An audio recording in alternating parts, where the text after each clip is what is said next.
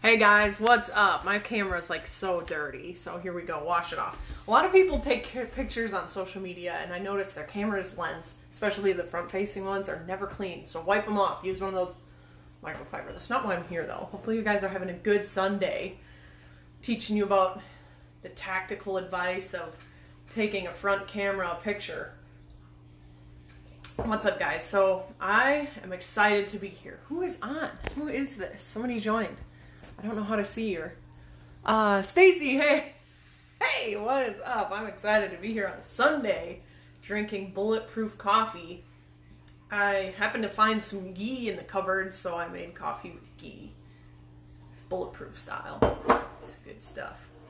I sometimes use um, coconut oil because it diffuses the caffeine slower. So if I just drink straight up coffee, it goes into my blood too fast, and I get really like hyper too too fast. And Lord, Lord help us, we don't need me on coffee all at the same time. Let that healthy fat like linger the caffeine in a longer displacement. So okay, somebody, not somebody, a lot of people, not a lot even, people that I work with are always wanting to get better. Like that's the best part about my what I get to do every day is everybody's always wanting to improve. They're wanting to get better and make make improvements in their life so they can be awesome in in spiritual aspects, health, physically, emotionally, like whatever reason that it is that people want to get better. They're doing things and they run into these roadblocks. And one of the roadblocks is emotional eating sometimes it gets in the way of not only our physical form like i know for me guys man i gained way more weight than i needed to because i was emotionally eating. Heck i mean there's way worse addictions just know that up front like at least we're not smoking pot or meth or doing you know drugs that are illegal not that pot is legal i don't even know but not even gonna go there. No judgment in this zone here. But anyway, like we're not doing, we're not like over drinking. We're not binge drinking. Like emotional eating, just put it in perspective. It's not that bad. Like give yourself some grace here, people. Like I know I needed to give myself grace too. Like emotional eating is not that big of an issue, and I would get emotional about emotional eating. Like I'd start eating something, and then I'd feel guilty, and then I'd just be like, well. I already messed up my program I'm just going to eat the rest of this pie. And then I'd feel even worse. But if I would have just stopped from the get go, be all right. But anyway, I wanted to give you guys four tips about what you could do to address your emotional eating. Um, so the first tip I have is ask yourself, why am I feeling like I need to eat eat right now? Maybe you're actually hungry, okay? Maybe, I mean, for me, sometimes too, I just, I'm actually hungry. Snack, like, it's okay to eat food. Um, sometimes it's the place that I'm in. Maybe it's I'm just walking by the kitchen, which is where I'm at right now, and just being in the kitchen, like, makes me want to eat food. So, check it, check that. And then, two, maybe it's maybe it's an event that happened prior to it. So for me, let me just take you on a little journey, a little story back in the day. So when I was working at the chicken farm, Rose Acres, I worked my way up the ladder, if you will. I started there doing like very easy stuff, just like cleaning, collecting the eggs. Just my, I didn't have to manage anybody. I just had to sweep, and it was great. I got to hang out with the chickens, and I was at a really good weight there. Uh, I started taking on management a few years later, and I noticed I started gaining weight because I was like speeding to get home from work. Like I was, I was in management over thirty people, and I'm like a person that I don't like conflict. I avoid conflict, and I mean I'm getting better, but I just didn't like being in conflict all the time. I was always making decisions. I always had to like not always, but many times I had to tell people stuff they didn't want to hear. And me being a people pleaser, I felt really bad about like, oh, this person they can't take their vacation today, and then they'd be all pissed off and mad at me, which they weren't really mad at me; it was their own issue. But anyway, like I would carry that stress that anxiety, that overwhelm with me, and it just kind of built up in my system. I could feel the tension just literally leaching onto my body, and I knew as soon as I get home, I could eat these cookies, I could eat a cheesecake, I could make a make some cake, and I could eat the food, and it was like a release. It was like a trigger, like. I associated this food with my body being able to let go and relax. And it was I asked myself why like I had to understand why was I eating like this? Was it it was the event, it was a it was a situation at work where somebody didn't like what I told them, what they had to do, and that stressed me out and that stress was causing me to overeat. Um, sometimes it's like a person's voice, just hearing a certain individual's voice is could could be what causes it.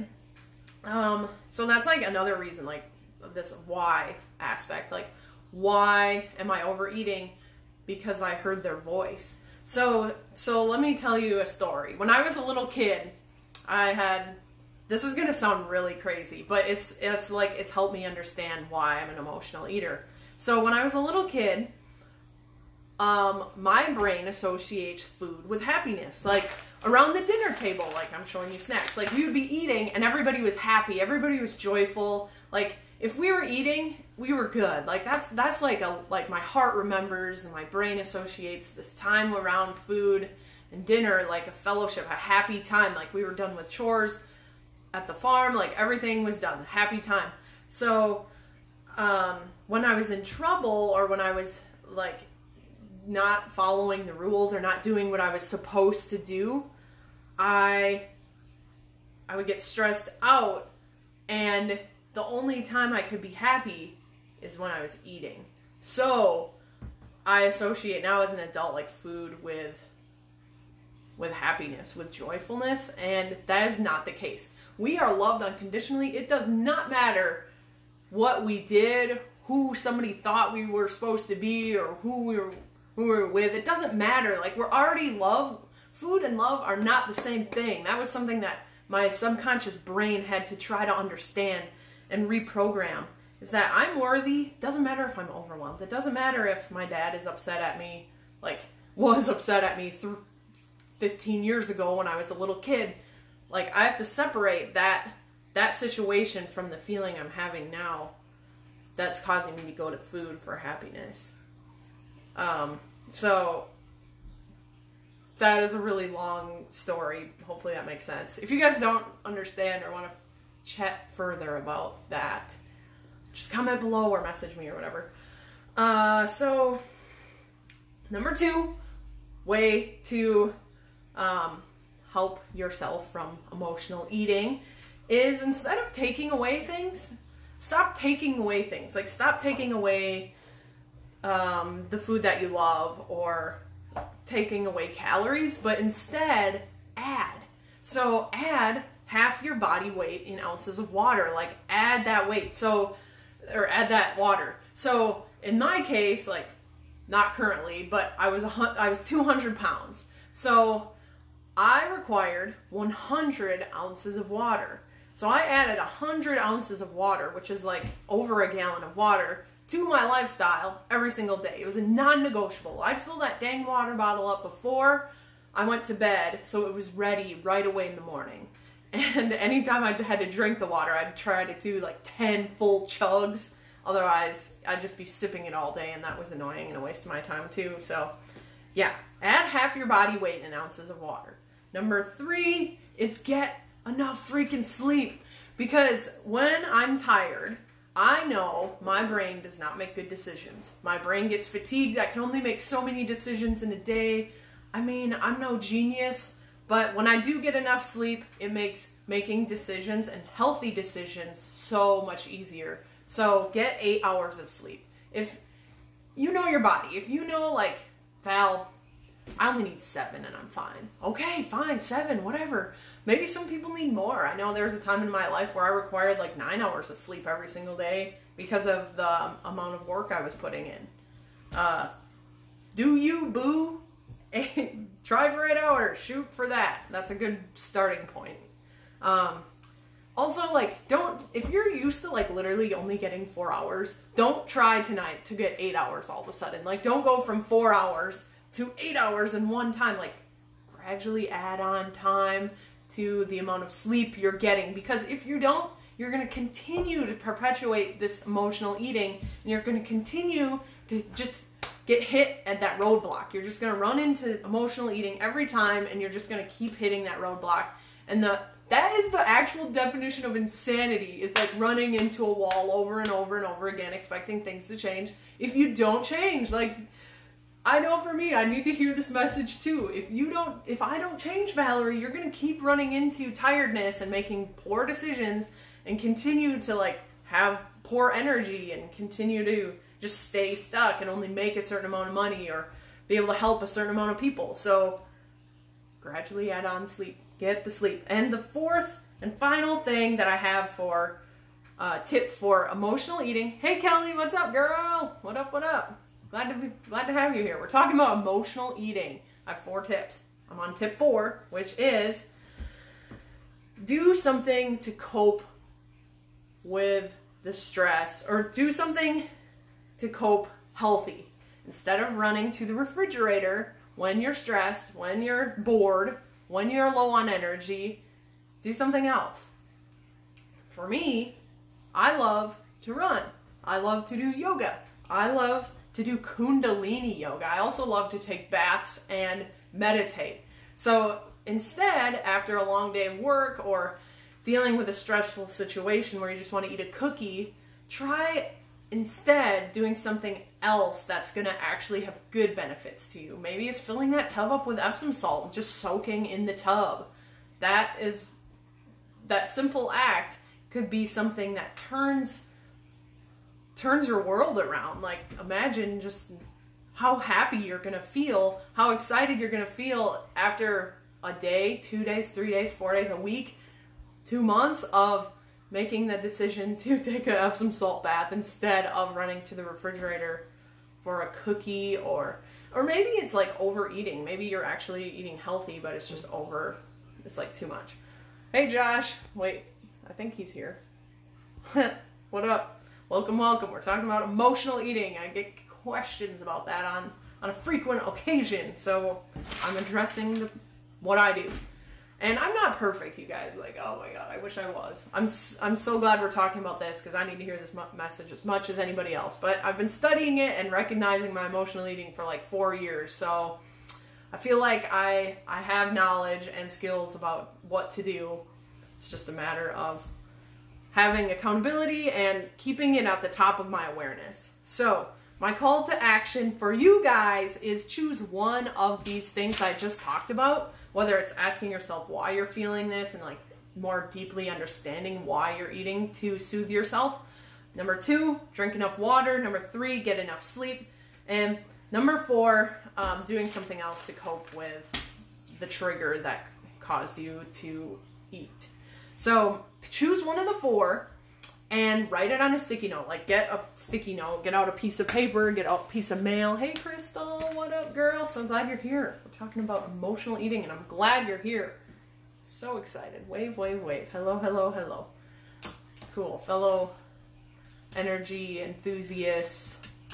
I love it. Okay, so grab your sticky note and literally choose one of the four uh, tips that I had on how to cope with or how to overcome emotional eating. Write it on a sticky note and put it wherever you're finding yourself emotionally eating. I'm sure it's like in the kitchen, maybe it's at work, maybe it's somewhere at your workplace that maybe it's at your desk. You're like a muncher at your desk, which that's me too. But anyway, take that note and write down one of those four tips. Um, so that you can reprogram your mind. A lot of the times that we just keep getting stuck is because we forget. We're we forget like why or what we're supposed to do in the time when our brain is already foggy, it's already given up, it's already feeling bad. We just need a reminder of like what is right, what is true for me right now. And maybe it's, oh, I see, okay, I need to drink half my body weight in ounces of water. Okay, I see the sticky note. I'm gonna get my water bottle out and I'm gonna take those chugs of water and, heck, just like doing that might repro like might change the tra- trajectory of where your mind is going. Um, or maybe it's um, the yoga. Maybe it's like anytime I feel stressed, I'm gonna just breathe. I'm gonna remember to breathe. So you have that sticky note, like breathe right now. Or maybe it's okay, I'm going for a run after work, and that's what I'm gonna do. I keep reminding myself after work, I'm running. That's what I'm doing. Whatever it is for you. Maybe it's dancing. Dancing is fun too. I love that shit.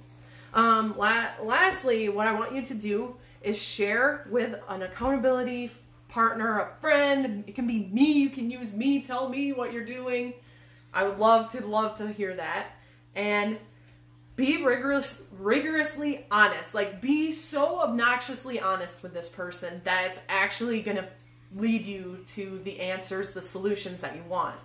Um, just somebody that you can be so honest with that you're not going to feel judged by. You're not going to feel like, oh, if I tell this person what I actually did, they're gonna chew me out. I don't feel comfortable around this person. Uh, just somebody that would understand, probably somebody that's maybe going through the same thing or has overcome it, so that you can have that accountability for the next seven days. Do this for seven days in a row. Write that sticky note, half my body weight in ounces of water, and then tell an accountability partner. Call them up, text, send this message to them, have them join this group, and whatever, like bring the awareness to yourself and your friend on what you can do to overcome emotional eating. So I love you guys. I hope that made sense. And if you have any questions about what I'm talking about with this emotional eating business or something else that I haven't covered, I mean, I'm not an expert in in any way like but I think like I've done enough research and learned enough about this that it's it's it's good and time for me to share my wisdom of how far I've come with my own emotional eating issues. Uh, hopefully, you guys have an epic rest of your day. I'm getting ready to hit up the grocery store and do some meal prepping and go for a run if if there's rain. I guess it's kind of not raining right now, but yeah, hopefully, hopefully you guys have an epic day. I'm so glad you're here, Kelly, Stacy, Crystal.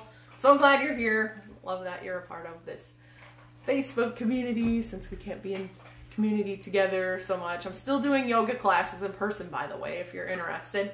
I have, I'm figuring out the glitches to getting the classes all online. If that is something that interests you, please reach out, text me, call, whatever, and I will get you hooked up with the Zoom link to do the online stuff. And I'm also doing in person, but use your own discretion if you want to come to class. I'm not going to be like judgmental if you come to class or not. Just do it. Do you, boo?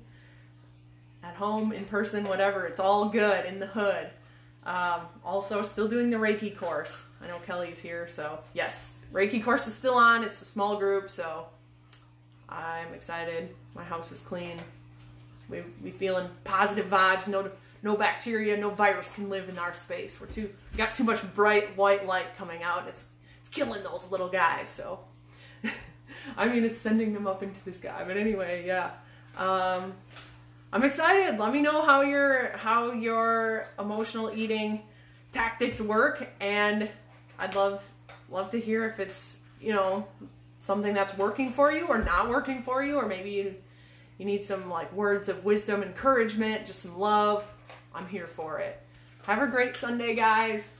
Thanks for tuning in.